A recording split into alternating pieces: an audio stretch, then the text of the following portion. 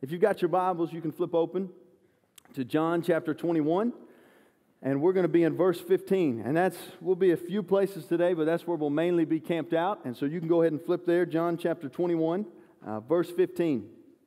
A couple weeks ago, I was in upstate New York, and uh, I preach a summer camp up there every summer. I've got a good friend of mine who runs the camp. Uh, his dad had, had owned it, and he went up to uh, take it over, and it's a really cool place because um, we get to speak to a lot of kids who haven't heard the gospel and who are from New York in different places. And, and New York is a great place. Um, and no offense if you're from New York, um, but here's my thing with New York. I knew I was in a bad place when I asked for a sweet tea. And, and the lady said, We don't have sweet tea. And I thought, oh my gosh, like, like you people who've moved here from up north, like, we got to put a support group around you and say, welcome home. Like you've come to the promised land of Tennessee. We've got sweet tea, we've got sugar and everything, right? And so, but I've been going up uh, to this camp uh, for a few years. And one year, Katie was with me, my wife, she's right here, and we decided that the camp's about three hours from New York City. And so we decided we were going to tra- take a trip. Uh, we were going to stay an extra day and go to the city one year. And so we did uh, what, what you do when you're poor and don't have any money is uh, we bought some megabus tickets. Um, let me just say, if you ever want an adventure, just buy you some megabus tickets, right? That's a trip in itself. And so we hop on this megabus, and there's all kinds of people from all kinds of different places and all kinds of stuff going on on this megabus. And we get on this thing, and we drive into New York City, and it drops us off right in the middle of Times Square. And so we're trying to cram everything that we can do in one day. I mean, we're trying to see all the sights. We're trying, we're going to Phantom of the Opera. We're trying uh, to go uh, to the memorial of where the World uh, Trade Center was. We're trying to see the Statue of Liberty from a distance. And we're doing all these different things. And at the beginning of the day, I'm feeling pretty good. And, and even more, I was in a park, found me a good hot dog stand, got me a hot dog, and I'm looking at the Statue of Liberty, and I'm feeling good. And I think I even have a picture. This is me. What more do you need in New York? You know, I got my hot dog, I'm smiling, I'm feeling good. But I, I had caught something at the camp. I had caught a sickness at the camp. And, uh, and so I was trying to fight through it, and I felt okay in the morning, but all of a sudden that sickness just began to just, uh, just come on me, and I began to feel worse and worse and worse till finally I was in Phantom of the Opera, and I'm like, I am going to die in, in, this, in this theater. The last picture they're going to have of me is with my hot dog, right? It's going to be in my obituary. It's my hot dog picture. And, and, and then New York City, let's just say this, we probably can all agree on this, it's probably the worst place that you can possibly be when you're sick, right? I mean, you're up there, there's people all around you, and they're making you mad, and you just want to punch them, and you don't have sweet tea, and I'm in my head, I'm just like singing, Country roads, take me home to the place where I belong. Look at there. And so I'm just like, I got to get back, right? And, uh, and I'm like, I got to get back home. I got to get back home. And so I just tell Katie, I bet, like, I, I get to the point where I'm about to fall over. And I just tell her, I said, You got to get us out of here. And she just looks back at me and she just says, Follow me. Now, here's what I'll tell you about Katie. I like to call her uh, what I like to say uh, redneck bougie. And so here's what I mean by that. She's from the country, and, uh, and so they do Sunday, uh, Monday night dinners, family dinner, everybody comes. Like that great aunt, the great uncle, the cousin that you're like, who is it? Where'd he come from? Everybody meets for family dinner, right? And, and she'll go mudding, she'll do all this stuff. She's country, right? But she also likes nice things, and she likes the city, and she likes to dress up. So, and she can, she can command it with the best of them, right? I may get in trouble for this later. I'm sorry. It's for the kingdom. And so, and so, you can tell I've only been married a month. and, so, and so I told her, I said, You got to get us out of here. And so she just looks at me and she just goes, Follow me. Just follow me. And so, literally, I mean, she's navigating us through the subway and yelling at people to get out of the way and getting us on different things, gets us all the way back to the megabus. We get on the megabus, go all the way back to the camp, and then the next day we fly all the way back home, and we made it back. But all I was focused on in that moment was just following her. Just follow her, follow her, follow her, because she had said, Follow me. Here's what we're going to dive into this morning those two words follow me. Those are two words that Jesus used all throughout the scriptures. That's what he used at the very beginning of his ministry when he calls his first disciples in Matthew chapter 4, verse 18 through 21. When Jesus calls two guys, Peter's one of them, he says, What? Follow me, and I will make you fishers of men. And what do those guys do in that moment? It says they drop their nets and they immediately follow Jesus. When we hear that, we think, oh, that, that's a great story. That's, that sounds great. That sounds nice. They just dropped their nets and, and followed Jesus. But we forget in that moment that these guys were fishermen. Like, that's probably all they knew. That's probably the, that's how they made their livelihood. That was their job. That's what they were known as, was fishermen. And in that moment, when they dropped their nets and followed Jesus, they said, we're dropping everything. We're dropping the way we make a living. We're dropping all we've ever known. we are dropping what we've been told how to do, and we're leaving it behind and following Jesus. We even see Jesus say it at other times to people. And even at times, he says it in a way where we think, man, Jesus, that, that was harsh. If you remember, Luke chapter 9, verses 57 through 62 says this As they were walking along the road, a man said to him, I will follow you wherever you go. And Jesus replied, Foxes have dens and birds have nests, but the Son of Man has no place to lay his head. He said to another man, Follow me. But he replied, Lord, first let me go bury my father. And Jesus said to him, Let the dead bury their own dead, but you grow and proclaim the kingdom of God. And still another said, I will follow you, Lord. But first let me go back and say goodbye to my family. And Jesus replied, No one who puts a hand to the plow and looks back is fit for service in the kingdom of God. It seems harsh. They're saying, Jesus, I want to follow you wherever you go. And Jesus says, Hey, you're not going to have any place to lay your head. Jesus, I want to follow you. Just first let me go back and bury my father. Let the dead bury their own dead. Jesus, I want to follow you. Let me first go back and say goodbye to my family. You can't have hands on the plow and be looking back. Maybe you remember the story of a rich young ruler in Mark chapter 10. It's in some of the other Gospels as well. This guy literally runs up and falls at the feet of Jesus. And he says, Jesus. He falls down. He says, Jesus, I'm, I, I, tell me how to inherit eternal life. I want to follow you.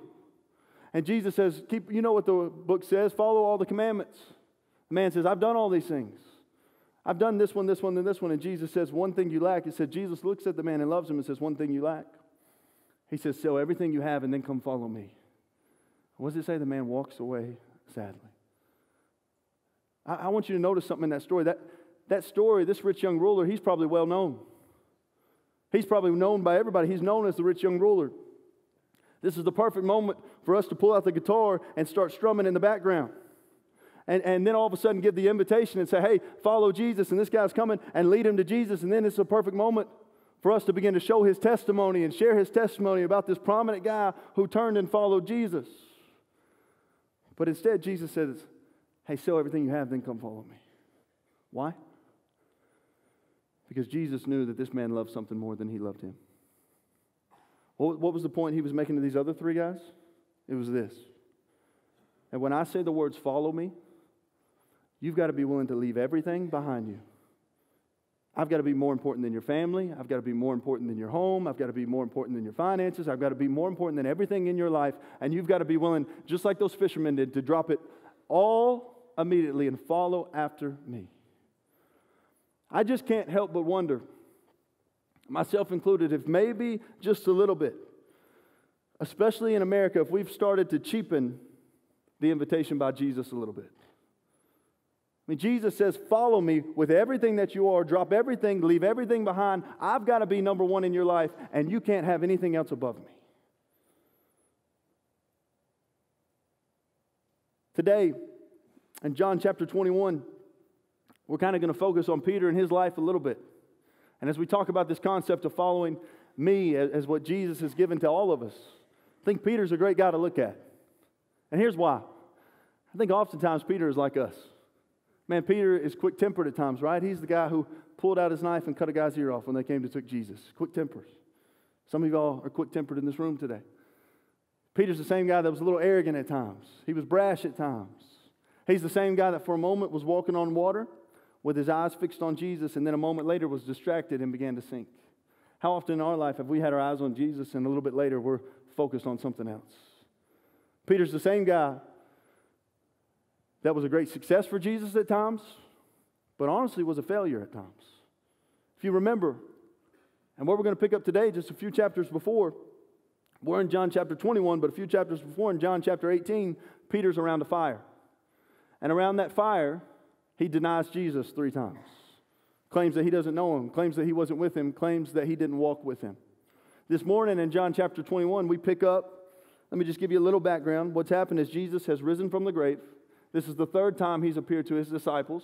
And even so much so, when Peter recognizes it's him, he jumps out of the boat and begins to swim to the shore to, to, to be with Jesus. Jesus has prepared a breakfast, he's prepared a meal, And they begin to sit around this fire again. So, a few chapters before, Peter is around a fire and denies Jesus, and now he's going to be around a fire, and Jesus is going to ask him three, three questions. And the three questions are all going to be the same. And this is what it says When they had finished eating, Jesus said to Simon Peter, Simon, son of John, do you truly love me more than these? Yes, Lord, he said. You know that I love you. Jesus said, Feed my lambs. Again, Jesus said, Simon, son of John, do you truly love me? He answered, Yes, Lord. You know that I love you. Jesus said, Take care of my sheep. The third time he said to him, Simon, son of John, do you love me? Peter was hurt because Jesus asked him the third time, Do you love me? He said, Lord, you know all things. You know that I love you. Jesus said, Feed my sheep. I tell you the truth, when you were younger, you dressed yourself and went where you wanted. But when you are old, you will stretch out your hands, and someone else will dress you and lead you where you do not want to go. Jesus said this to indicate the kind of death by which Peter would glorify God. Then he said to him, Follow me. So, the beginning, when he first calls Peter, he says the words, Follow me. And the third time he appears to Peter, he says the words, Follow me. Quickly this morning, I want to give you a few points I believe we can take from the life of Peter and this story. And number one this morning is this you want to jot it down, is follow me as you are. Follow me as you are. See, I think the great news about this story, about what we read about Peter around this fire with Jesus, is Peter has just failed Jesus. He just denied him three times. And I, I think all of us would admit hey, I, I've been there before. Like I've let Jesus down. I've failed him at times. I've messed up at times. I have failed Jesus at different points in my life. But the good news is, is Jesus isn't sitting here scolding Peter. Peter, how dare you? How could you, how could you deny me? How could you mess up like that? How could you do that to me? Instead, he's given him the same command that he gave him at the beginning follow me. And even more, what I would tell you this morning is maybe all of us, if we would just focus on following Jesus as we are with all that we are, and he'll take care of the, take care of the rest. Follow Jesus as you are with all that you are, and he'll take care of the rest. Think of this for a moment. What I love about this story is Jesus is going to pick his 12 disciples. And he didn't say, hey, I'm going to pick 12 disciples. One day I'm going to leave them and they're going to change the world. So let me go pick out the brightest, the smartest, the most courageous, the strongest, the boldest. let me go pick out the ones that society says, hey, this guy will be the best one for me. No, no. He goes to uneducated fishermen and he says, follow me. And here's the reality in that I don't think Peter had a clue all that Jesus would do through him in that moment. Peter didn't know. He didn't know that one day he would be the rock that Jesus builds his church on. In that moment, he just knew, hey, Jesus is telling me to follow him, and so I'm going to drop my nets and follow him. And here's the reality for all of us today we don't know what God wants to do in and through us. We don't know all that he has in store for us. And if we did, we'd probably feel like we can't do that and we're not ready for it. And the great news is he's not asking you to do that. He's just asking you to simply make a choice follow me. Follow me today, follow me tomorrow, follow me the next day, follow me the day after that, and watch me do all that I do through you. See, what I love about this as well is I think we forget sometimes the human aspect of this. And Peter's a guy just like us because he denied Jesus three times. But even when you look back through the Bible and you look back at these characters we hear about, at times we can think, man, they, they were on another level. I mean, they were just, all these people were so different. But think about Noah, for example. Noah was a great man of God, and God decided to save him and rescue everyone, but when he gets off the ark, he gets drunk. He's human. Think about David, for example. David's the same guy who had the faith to stand before Goliath and take down a giant, but later on in his, life, he commits adultery with Bathsheba and has her husband put at the front lines of battle to be killed. Think about Elijah for a moment. Elijah had the boldness to stand against 450 prophets of Baal and him by himself on Mount Carmel and call fire down from heaven. And God brought the fire down from heaven, but a little bit later, he's in the desert saying, God, just take my life. Think about Moses, for example. Moses killed a man. And even more, do you remember when Moses had a conversation with God in the burning bush? How many excuses Moses gave God? God said, Moses, I want you to go. God, I don't want to go there. How can I go there? God, I got a speech problem. God, I can't do that. Here's the beauty and all that. These, these were normal, normal people just like us who made a decision to follow Jesus. And even though they had bad moments and good moments, you know what they did after those moments? They followed Jesus. David repented. He got back on his feet and followed Jesus after that, after he got on his knees. Every single one of them. And the great news for all of us today is Jesus is looking at all of us and saying, just follow me as you are. Just make that choice. Number two that I want to give you this morning is follow me whatever the cost. Follow me whatever the cost. Look at what it says in verse 18 again. Jesus said, Feed my sheep. I tell you the truth. When you were younger, you dressed yourself and went where you wanted. But when you are old, you will stretch out your hands, and someone else will dress you and lead you where you do not want to go. Jesus said this to indicate the kind of death by which Peter would glorify God. Then he said to him, Follow me. Think about that for a moment. Jesus looks at Peter and says, You're going to die for following me. He basically tells, Hey, you're going to die, now follow me. That's a big cost. Can I be honest? In my life right now, I'm kind of convicted that I don't, I don't know what I would do in. I would hope I would say, Yes, Jesus, I'm going to follow you to the end of my life. But in that moment, that, that's a hard choice if we're honest. It's going to cost you everything in that moment. Peter said, I, will follow you. But I think about the guys that we mentioned not long before, and maybe you want to jot this stuff down too. Following Jesus at times there'll be a cost, and maybe you want to jot this down. The cost will equal being alone at times. The cost will equal looking crazy at times. And the cost will equal being in pain and persecuted at times. Think back on these stories for a moment. How alone do you think Noah felt as he began to go outside and build an ark? Hey, Noah, what are you doing? I'm building an ark. You're on your own on that one, Noah. Have fun. How alone do you think David felt as he walked before a giant who was a champion named Goliath that no one else wanted to fight? How alone do you think Daniel felt when they said, Hey, don't pray anymore, we'll throw you in the lion's den? But yet Daniel got on his knees and began to pray at the same time, the, every day, at the same place. How alone do you think Shadrach, Meshach, and Abednego felt? As everyone bowed down to this statue and three guys are left standing.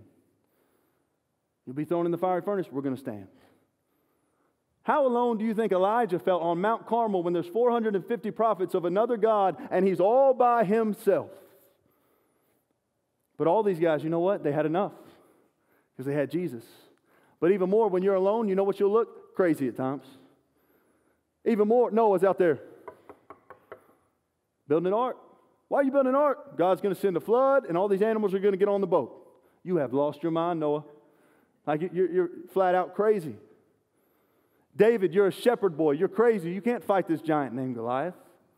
Daniel, don't pray on your knees. Just pray in your head, pray in your heart. Just walk around and keep praying. It's not worth being thrown in a lion's den to cost you your life. Shadrach, Meshach, and Abednego, just bow down. Just come down. Don't, don't, don't uh, try to get thrown in a fiery furnace. You're crazy if you do that. Elijah, there's 450 over here and there's one of you. You're crazy. But you know what? Every single time, in those stories and in general, God came through. Man, follow and build what God tells you to build, no matter how crazy you look. Follow and let God take down the giants in your life. Follow and pray even when you're told not to. Follow and stand even when all else bow. Follow and, and, and tell the risen Savior just like Peter did, even though many saw him die in front of them. You know, the great thing about life is this, and what I get to do is I get to watch people in all kinds of different avenues and all kinds of different places. And some of you people, you're crazy. I'm just going to tell you. You know, and, and, we go crazy at times. The other day I was driving, and I, I kid you not, I missed the arrow, the green arrow, by about two seconds. And the lady behind me was honking her horn and throwing up her hands, and I'm like, you've lost your mind.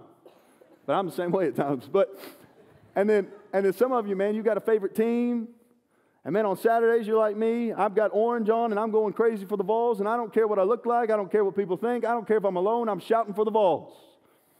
And then some of you, you need to repent this morning. I'm a youth pastor, and I get to come watch your kids play sports. You lose your mind out there.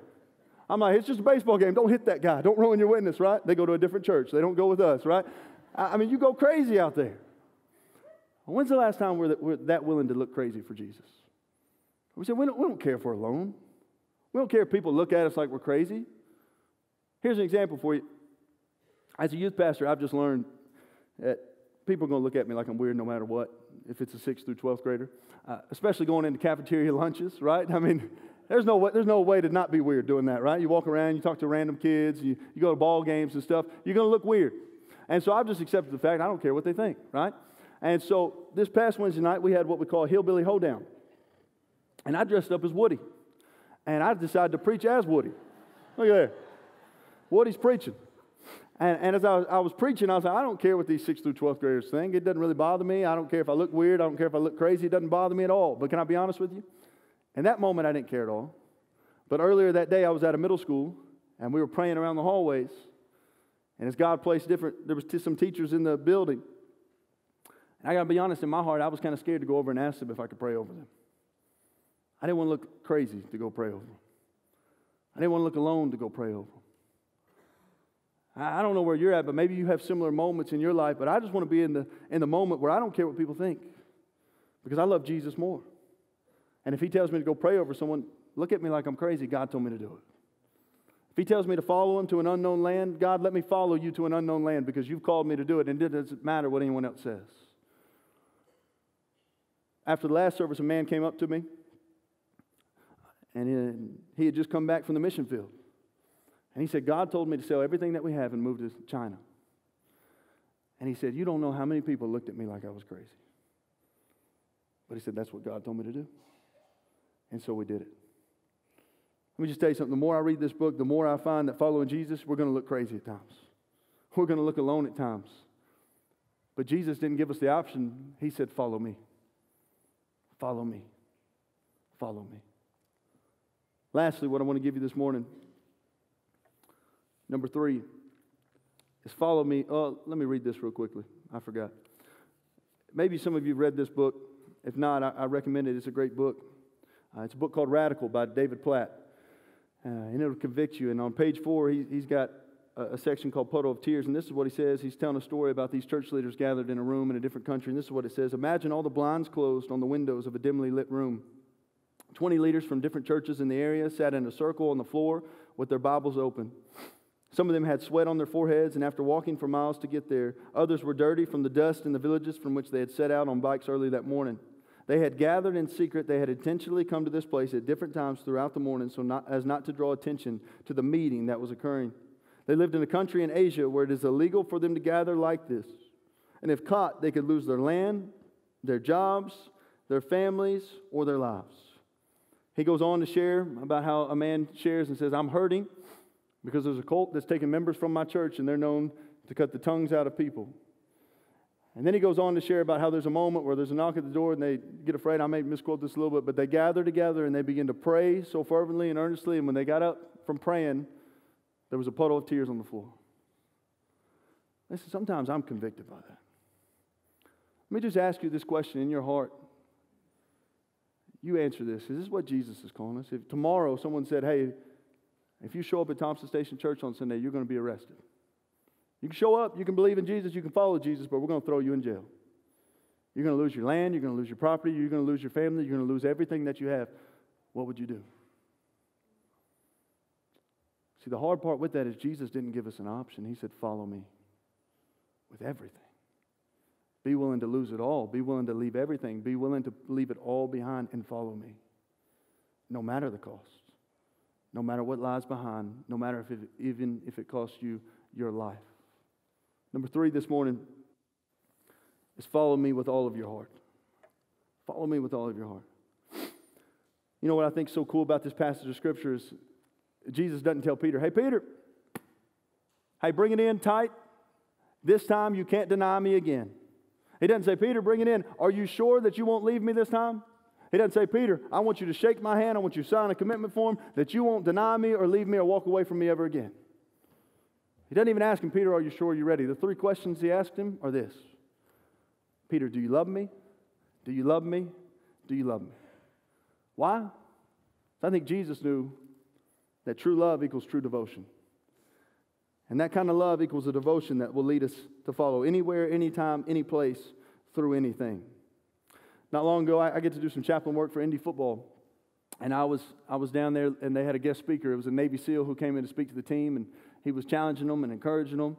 And uh, he asked them this question. I, will never forget. He, he said this before that. He said, Love is the most powerful driving force that you can have in this world. He didn't say honor, he didn't say commitment, he didn't say brother, he said love.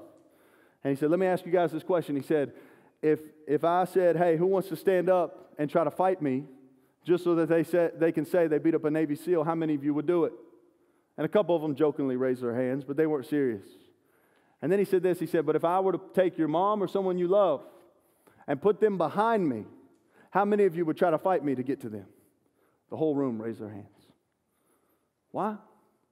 Because when you truly love something, you'll go through anything that's in your way to get to it. And you won't care how crazy you look. You don't care if you're alone. You won't care if you get beat up. You won't care if you die. You'll run and try to get to it. That's why Jesus is asking that question. I'll share one last story with you, and then I'm done. I shared this with our students. Um, I don't think I've shared it in here. I threw it in for free last service. So I'll throw it in for free again here today. I didn't have it in my notes, but um, you know, Katie and I, you know, I wasn't very romantic. I was pretty bad at that. I, I just, I'm more of a Taco Bell and McDonald's kind of guy, you know, and, and so when it, time, came time for engagement, I thought, man, I, I got to do something nice. Like, I got to do something big. I got to go all out, and I got to get after it. And so I, I, my uncle had this old barn out back, and uh, and I can't fix anything. I'm, ter- I'm just going to tell you, I'm terrible with wood and all that stuff. But uh, for this moment, I said, you know, I'm going to go out here. I'm going to be like Chip Gaines. It's going to be fixer upper, you know, times two. You know, and I'm going to fix this barn up, and I'm going to break the internet, right? I mean, they're going to be like putting me on Pinterest and Instagram. They're going to be like, this guy has got it, got it going on. And so I get out there in that barn, and I start working. I'm hanging pallets up and trying to hang flowers, you know, even though I got no idea what I'm doing. And then my uncle gets out there helping, and uh, man, it was infested with yellow jackets. And uh, no lie, and so I came back one day, like, he, he's up on the couch with ice on his eye. I'm like, Uncle, what happened? He's like, yellow jackets. I mean, he's just out with ice on his eye. I'm like, goodness gracious, I go in there, they're everywhere. So I just, I decide I'm going to war. Like, I'm declaring war on these jokers. I go to Dollar General. I'm like, give me all the bottles you got, right? And, and I'm going out the line. She's like, you've got a problem. I'm like, yes, but I'm going to win, right? I go back. I mean, I, I went crazy. I, like, I tied my T-shirt on my head, and I ran in there just screaming. I'm like, it's all for love, you know, and I'm spraying and, and, and you know, going after these yellow jackets, trying to knock them down, hitting them with the broom, you know, going after it. Finally, we get them out of there. We sweep it, we power wash it, hang lights, flowers, all that stuff. And then I, I have it all planned out at dinner. I got my uncle to call me at dinner and say, hey, uh, when it was time for the night to, to propose, uh, and I had him call me and say, hey, I need you to come help me load the boat because uh, we got to fish tomorrow. And so I told her, I said, hey, we got to go load the boat. We got to go help my uncle. You know, we got to fish tomorrow. And she's mad in the moment, you know, like, oh, you always fish. You know, why, why you got to do this? You know, why can't we have one dinner? You know, and I'm like, just wait, just wait. You know, and then we're going, and, and uh, we round the corner, and then all of a sudden, like, she sees it all, and I got down on one knee, and I just froze. I just opened the box and smiled, ah, you know, and like, marry me? Like, I guess that'll explain itself. And, uh, and, and, and so I go through all that. Why, why did I share that story with you this morning? Here's why.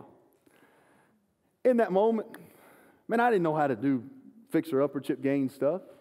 But I was like, I'm going to go for it. I'm going to work hard. I'm going to pressure wash this thing. I, I, didn't care how crazy I looked to get yellow jackets out of there, go to Dollar, Dollar General and buy every bottle that I could buy and go in there running around. I didn't care about anything in that moment. Why? Because I loved her and I wanted to do everything I could to make it a special moment. I didn't care what was in front of me. That's why Jesus is saying, Do you love me? Do you love me enough to leave everything behind? Do you love me enough to follow wherever I call you? Do you love me enough to give your life for me? Peter, how much do you love me? Because that's going to determine how far you follow me. And I could only imagine. In that first campfire, Peter denies him three times. Second campfire, he says, Yes, I love you. Yes, I love you. Yes, I love you. You know how Peter died? This is how he died. Later down the road, man, he lived his life for Jesus. He was the rock Jesus built the church on. And then when it came time for him to die, he said, they were going to crucify him. He said, I don't want to die the same way Jesus died because I'm not worthy. Crucify me upside down. And Jesus was hung upside down. I mean, Peter was hung upside down and was crucified in that moment. And I could only imagine as he's hanging upside down on that cross, he's declaring his love for Jesus. And Jesus, I love you. I love you. I love you. To follow you, even to this death, that people would call me crazy for, that people would leave me alone for, that people would say was worthless.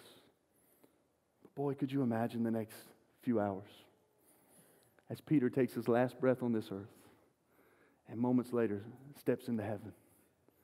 And him and Jesus come together for the biggest reunion and hug ever. And they both tell each other, I love you and I love you. Jesus is asking you that question this morning. Do you love him? Do you love him enough to follow him? It's the same invitation from the beginning of time to the end of the time. Follow me. If you would, bow your heads and close your eyes.